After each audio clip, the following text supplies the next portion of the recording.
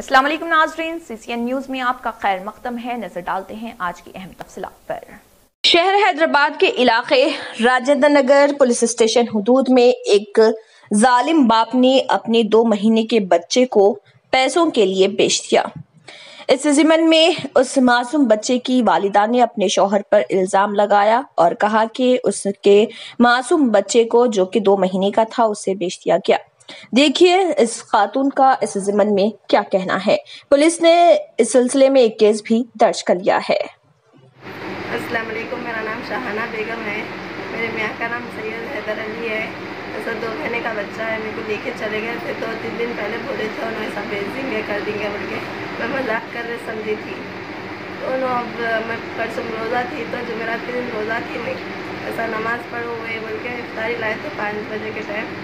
इफ्तारी लेके आए नमा, नमाज़ पढ़ के रोज़ा खोलो वो खोलो बोल के बाहर लेके बैठता हूँ बोल के बच्चे को लेके गए लेके गए सो आए इस टाइम बेच दे के आए।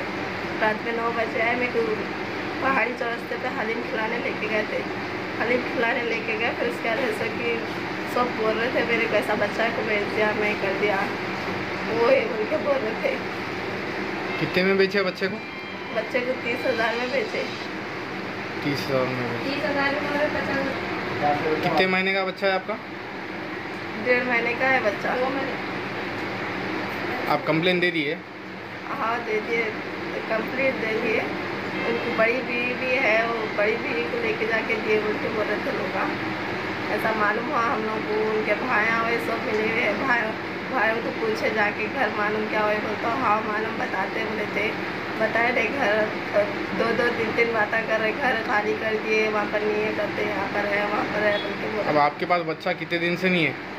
मेरे पास तीन दिन से बच्चा नहीं है। बच्चे को माँ के दूध की आदत है? हाँ।